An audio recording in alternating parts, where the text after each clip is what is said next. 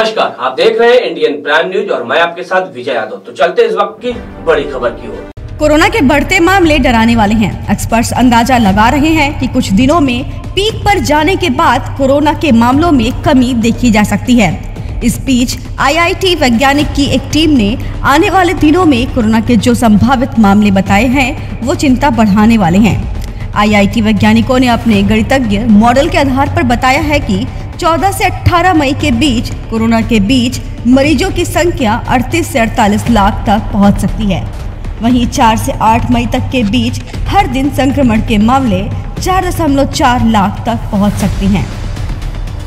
आपको बता दें कि फ़िलहाल हर दिन कोरोना के तीन दशमलव बावन लाख से ज़्यादा के मामले सामने आ रहे हैं। कानपुर और हैदराबाद में इंडियन इंस्टीट्यूट ऑफ़ टेक्नोलॉजी के वैज्ञानिकों ने यह अनुमान लगाने के लिए Sutra susceptible undetected tested positive and remove approach नाम के मॉडल का इस्तेमाल किया वैज्ञानिकों ने आशंका जताई है कि मई के मध्य तक कोरोना के मामले 10 लाख से ऊपर तक जा सकते हैं इस नए प्रोजेक्ट में मामलों की समय सीमा और संख्या में सुधार किया गया है पिछले हफ़्ते शोधकर्ताओं ने अनुमान लगाया था कि 11 से 15 मई के बीच ये महामारी अपने पीक पर जाएगी और कुल एक्टिव केस 33 से 35 लाख तक आ सकती हैं इसके बाद मई के अंत तक मामलों में तेज़ी से गिरावट आ सकती है। इस महीने की शुरुआत में मॉडल के आधार पर वैज्ञानिकों द्वारा बताया गया कि संभावित आंकड़ा गलत साबित हुआ था।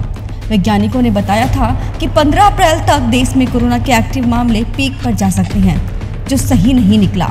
आईआईटी कानपुर में कंप्यूटर साइंस और इंजीनियरिंग विभाग के प्रोफेसर मनिंदर अग्रवाल ने पीटीआई को बताया कि इस बार मैंने पूर्वानुमान आंकड़े निकालने के लिए न्यूनतम और अधिकतम गणना भी की है। मुझे पूरा विश्वास है कि वास्तविक आंकड़े इन न्यूनतम और अधिकतम गणना के बीच में ही होंगे। आने वाले दिनों में कोरोना के संभावित मामलों को लेकर प्रोफेसर अग्रवाल ने ट्विटर पर भी कई पोस्ट किए थे। उन्होंने लिखा था कि पीक समय एक्टिव केस के लिए 14 से 18 मई और नए संक्रमण के लिए 4 से 8 मई पीक मामले सामने आएँगे। 38 से 48 लाख एक्टिव केस और नए संक्रमण के तीन दशमलव चार से चार दशमलव चार लाख मामले सामने आएँगे। उन्होंने यह भी कहा कि यह स्पष्ट नहीं कहा जा सकता कि अंतिम आंकड़े क्या होंगे। समय के साथ मॉडल के बदलते अनुमानों के बारे में बताते हुए प्रोफेसर अग्रवाल ने कहा कि इसका मुख्य कारण यह है कि भारत के मौजूदा पैरामीटर में लगातार धीमी गति से बदलाव हो रहा है, जिसकी वजह से सही अनुमान लगाना मुश्किल हो जाता है। वैज्ञानिकों की ये नई स्टडी अभी कहीं प्रकाशित नहीं हुई है। वैज्ञानिकों का कहना है कि इस नए सूत्र मॉडल में कोई विशेषताएँ नहीं है। एसिम्टोमेटिक मरीजों का कॉन्टैक्ट ट्रेनिंग और अन्य प्रोटोकॉल के ज़रिए भी पता लगाया जा सकता है। आईआईटी कानपुर के वैज्ञानिकों ने सूत्र मॉडल के लिए तीन मापदंडों का इस्तेमाल किया है। पहले पैरामीटर में ये मापा गया कि कोई संक्रमित व्यक्ति एक दिन में कितने लोगों को संक्रमित करता है।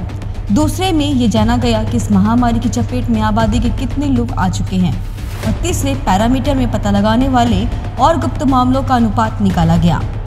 Bureau report, IPL.